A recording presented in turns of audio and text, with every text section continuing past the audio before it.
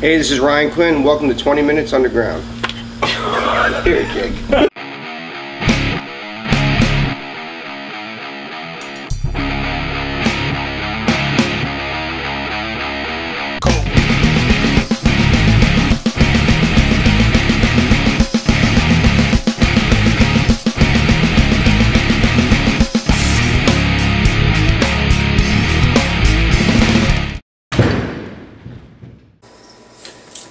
Welcome to the third installment, 20 Minutes Underground with Underground Reptiles.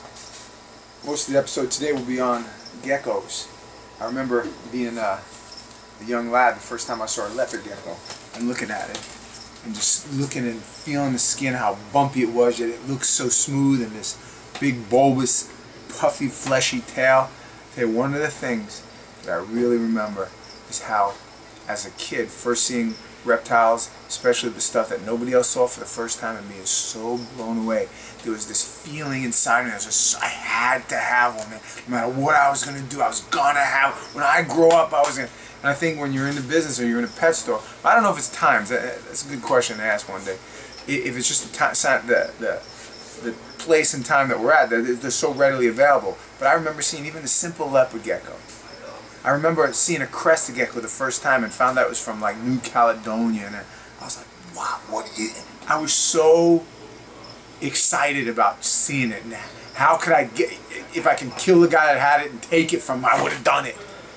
Anyway, I hope you have that same feeling because that's how we do around here, and everybody that works here is like that. We won't hire somebody who's not an animal person.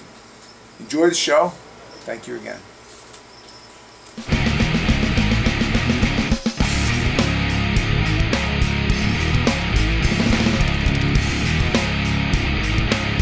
Hey guys, this is Ryan B. Thanks for joining us this week. I'm going to be showing you guys our gecko facilities here at Underground Reptiles.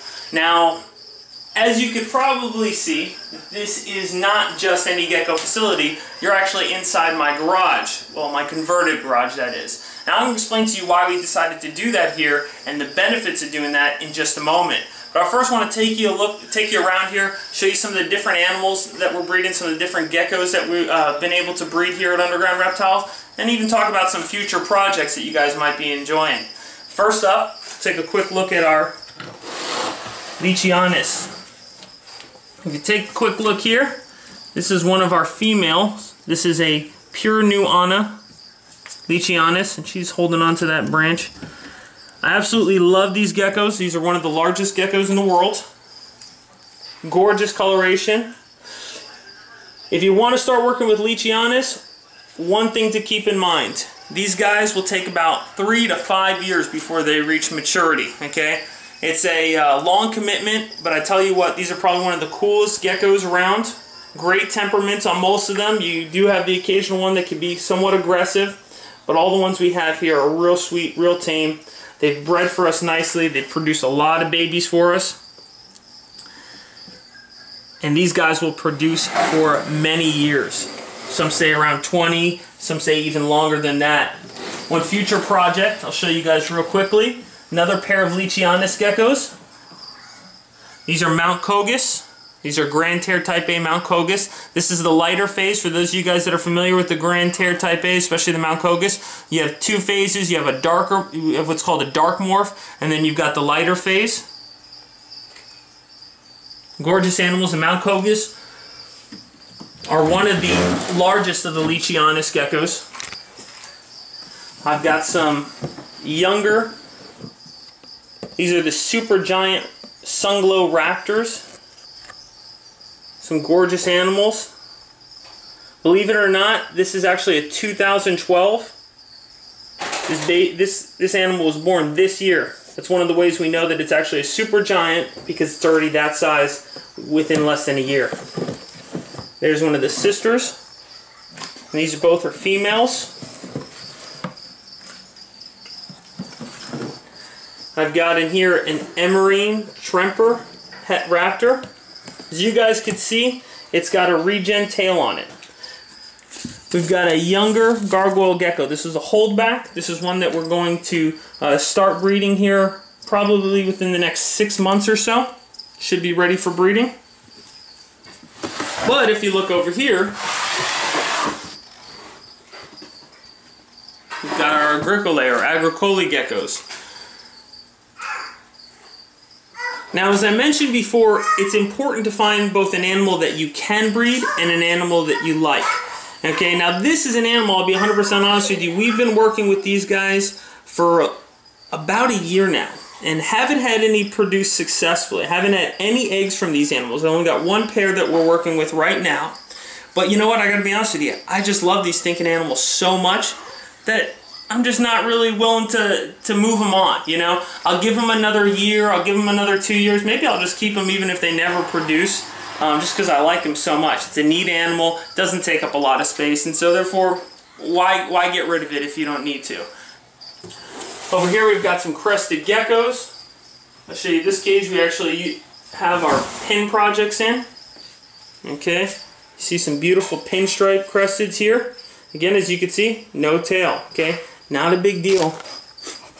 My cameraman just got attacked by the crested, but it's okay.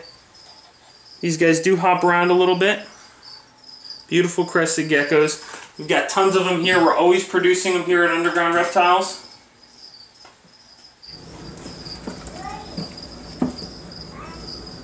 A gorgeous yellow striped pair of gargoyle geckos. This is our male here. Really nice yellow coloration on him. Beautiful striping.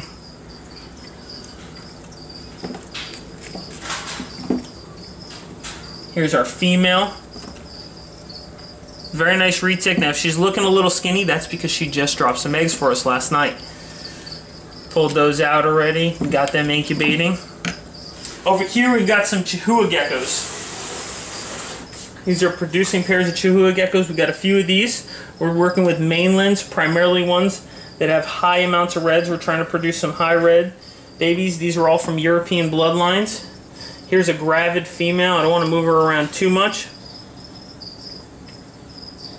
Very, very pretty chahoua geckos. Lastly, as I mentioned before, you guys notice that we're in a garage. And you say to yourself, Ryan, why are you using a garage? You know, why not uh, have like some state-of-the-art breeding facility? Why not uh, keep them in an air-conditioned facility? Well, this area is air-conditioned, but one of the things that we've noticed is important when producing any geckos, leopard geckos, Rhacodactylus geckos, any gecko, is offering them a period of time to cool down, okay? Kind of like a brumation. They don't quite hibernate like some of our tegus will, um, but they do slow down in their production. Right around now, it's uh, October. Um, we're actually about to hit November here and uh, it's going to start cooling down even in Florida. Now, beautiful thing about Florida is it doesn't get really, really cold. You know, we're not going to hit zero degrees or minus, you know, something or other, um, but it does get cool.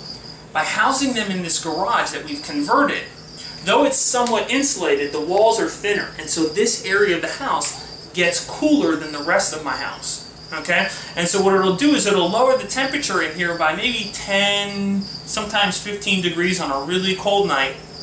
It's perfect for these animals in creating uh, um, a season of cooler weather for them so that they slow down their productions. The males have the opportunity to uh, reproduce uh, their sperm plugs. Um, females have an opportunity to uh, kind of relax from breeding for a bit, which is also very important. You don't want to overbreed your females and then you lose them within a year or two. That's not good as well. So by keeping them in this garage here, it provides that season for them. Guys, I hope this was informative for you. I hope you enjoyed walking around with us. Uh, be sure to stay tuned. I'll show you some more of our geckos. I'll show you some more tricks if you guys want to. Um, stay tuned, comment. I hope you guys enjoyed. God bless.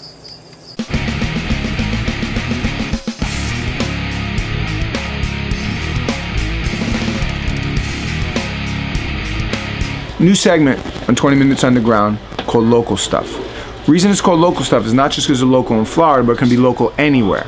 Because it's snakes like this, Diadophis, it's called a ringneck snake. And this is what got most of us into reptiles to begin with. Now, first look at just a cheapy little snake, and from an industry perspective, it's only a couple of bucks. But, and this happens to be a baby, but upon further look and, and more study, this is the most amazing animal. They're first of all they're the shiniest, blackest little thing. They got this beautiful orange ring. Everybody finds them everywhere in every garden. and they come in so much variety. Now, if you get this same snake up north, like where I, where I used to come from, I used to go upstate New York and catch these things. You can get these things two foot long. I remember the first time I caught one in Florida, I was like, man, that's a baby. And not knowing that the ones in Florida got small. But the few interesting facts about them is they're one of the few snakes that could actually put their teeth out sideways like this. So when you're holding him in your hand, he'll literally pull back and cut the side of your hand like little tiny razor blades. Also, it's suspected that they actually have uh, a slight venom so that when they're eating, they actually envenomate their prey really cool thing about them too is most people don't know what they eat. One of their favorite diets is other reptiles. They love eating baby garters and baby ribbons. I've actually caught these. When we go road hunting at night, we've actually caught them with baby snakes hanging out of there. The tails of the snakes, two and three tails hanging out of their mouth, sitting there stuffed on the road. Beautiful animals and they even get better looking as they get older. And another cool thing about them is you notice that their tail, their belly is orange, but their tail is red. When you catch them and when you first get them, they're real nervous. Their tail curls up in a tight, tight little ring, almost like a, like a pseudo rattlesnake. Just the coolest little animals in the world. Easy to keep in captivity too if you could find the right food, but they're subterranean animals, they live underground most of the time. And I think they're one of the coolest things ever made. God is good.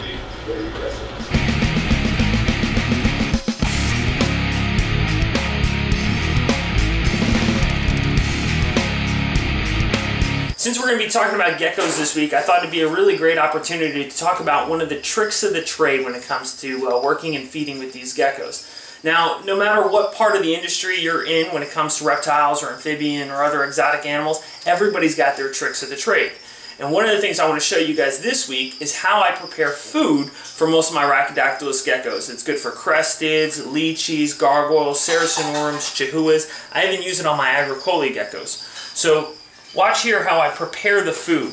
One of the first things I do is I use what's called fruit on the bottom yogurt. You can get it from any store. I get mine from Publix. It's a local grocery store here in Florida. But you can get it pretty much from any store out there. I get the fruit on the bottom. I get the regular yogurt. You don't want to use any of the ones that are like, uh, that have artificial sweeteners in it or um, uh, like reduced fat or no sugar. Try to get it as natural as, as, as possible. What I'll do first, I'll usually take like a berry, we use strawberry banana, you can mix flavors, doesn't matter. Okay, we'll empty the contents into a bowl here try to get out all that good fruit flavoring, all that good natural fruit. Can sometimes get a little messy. Now you're going to want to empty about, I start off with about two cups, and you can add if need be. You're going to know how many geckos or animals you have and you have to feed, and you'll just adjust accordingly. The next aspect, crested gecko diet. Now, one of the biggest complaints when working with crested geckos or any other of the Rhacodactylus geckos is, man, I burn through this stuff like crazy. Well, by using the fruit on the bottom yogurt, it's going to carry how long you could use your crested gecko diet for. Alright. Now what I do, and unfortunately I don't have exact measurements, but hopefully this gives you an idea about how much I use. What I'll do is I will cover basically the top of the yogurt. Generous portion on top. Now again, I've got a lot of geckos and this isn't even going to feed them all, but as you can tell I probably use a lot more than most. Next we go to our vitamins. Our vitamins are really important. I use the Super Cal Medium D3. I'm take some of this, just sprinkle it over the top. And some of you guys are probably wondering, well, why are you using the calcium with D3? You just use the yogurt. Now, one of the reasons why we use the yogurt, I didn't mention before, is because yogurt has in it calcium naturally, but then it's also high in protein, high in fat content. That's all great for having the animals gain weight or helping the animals to gain weight. If you've got a female that just laid eggs, lost some weight, also it helps in maintaining weight for them. Okay, so it's a really good source of protein, fat, and calcium, but I'll still use the calcium with D3 because the yogurt doesn't have a high amount of D3 in it. And I believe the animals still need some supply of D3. Also use Super Pig. Super Pig is a great vitamin and supplement to add to your uh, food when preparing for crested geckos or other Rhacodactylus geckos. Um, the reason why it's a pigment enhancer. I like using it. I've seen a difference. I've noticed a difference in my animals when using it. This one you could use a little bit more sparingly. Again, just sprinkle over the top. And then finally, I use a Reptivite. Has calcium and D3 in it, but also has some other vitamins which are essential for the animal. And again, just a little sprinkle over the top. Now, one of the things I use that I found out from a friend of mine is Pedialyte. I'll use both Pedialyte and water. Okay, the reason why we use Pedialyte is because when working with the animals, sometimes you'll notice that your crested gecko, maybe your chahoua, any of the other rhacodactylus geckos, has trouble shedding. Usually when they have trouble shedding, it's due to a lack of electrolytes. Pedialyte, the non the, the unflavored kind, you mix it in with the water. It adds electrolytes to the food. It helps the animals to maintain um, their shedding or keeping off their shedding or getting it off successfully. Now, in adding the Pedialyte and the water, what you want to do, and you might have to do this a couple of times, is you want to watch out for uh, the consistency of the product here. What you don't want to do is create a real, real liquidy food. What you want it to be is a nice, like, thick, smoothie consistency. You don't want it too thick where it's like a paste. And I scrape the sides to make sure we get all that good stuff in there.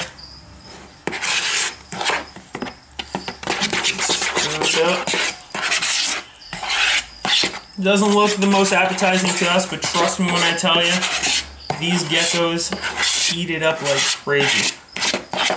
And what you want to do is you want to mix in all those powders. You don't want any real clumps of like powders. Now you'll still notice some clumps in there, some lumps. That's from the yogurt. It's from the fruit. Okay, especially my bigger leachies, man. They love eating that stuff. Big piece of fruit to chomp down on.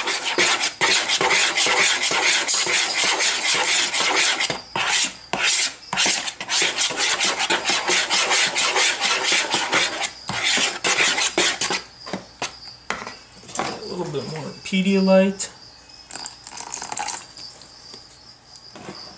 A little bit more water.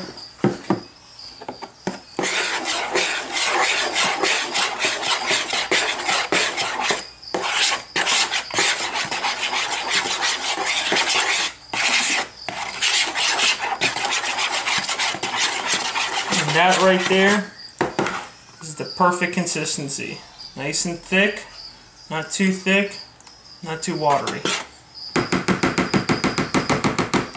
Now I like making mine in Tupperware bins. Main reason why, I'll usually make more of this in one sitting. And what I could do with it is, let's say I, I make too much or, you know, I want to save some for the, later on in the week. Put the lid on top, refrigerate it. It refrigerates nicely. Also recommend keeping your crested gecko diet, your super pig, even your vitamins you can refrigerate. Um, it just uh, increases the life on them. Um, usually we'll feed our geckos this, this mixture at least three times a week. And don't forget also insects are important, okay? We use crickets here. Also, if you follow me over here, in keeping with ease, we also produce our own roaches, okay? Roaches can be kept alive, put some egg crate in there. See there are some of the bigger ones. You got lots of little babies in there. Right now we're letting this colony get back up to size. I use a substrate at the bottom. Okay, the babies will also burrow in there. Alright, and you feed them things like leftover dog food, greens, fruits. Okay, one of the things we do here, if you notice, we'll rub uh, Vaseline along the sides. This helps make sure that roaches don't escape. If you got a fear of roaches and you don't want a roach infestation in your house, make sure you use the Vaseline. Poke a couple holes on the sides above the Vaseline. Again, that way the animals can't escape through those holes. Make sure you got a nice tight lid on it. Feed them like once a week or so. And pull the roaches out when you need them. I hope you guys enjoyed that and uh, hope you guys keep staying tuned for some more tricks of the trade. Thank you.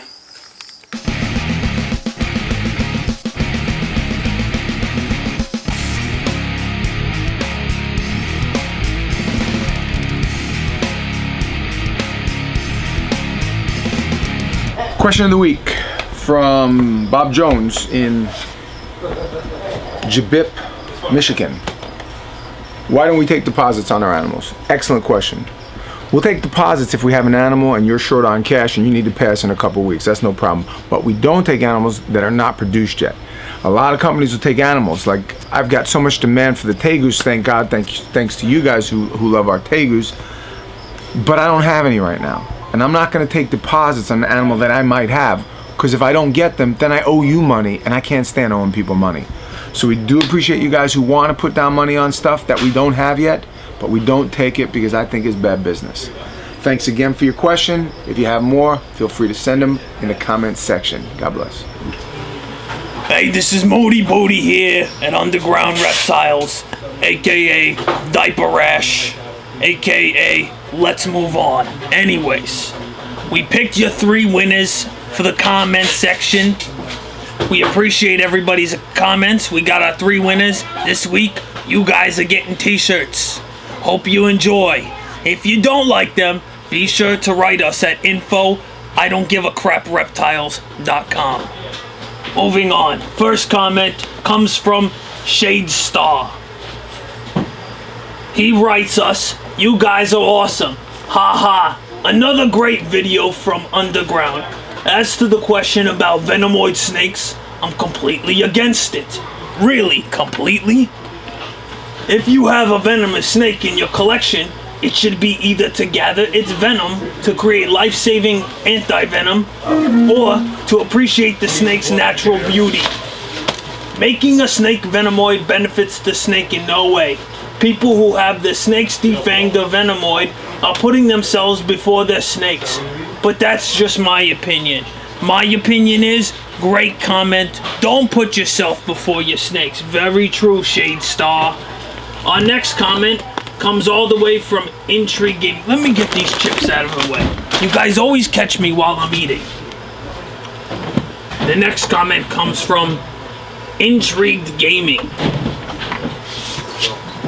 I believe there's nothing wrong with venomoids. Let's say you've owned a venomous snake. Big responsibility.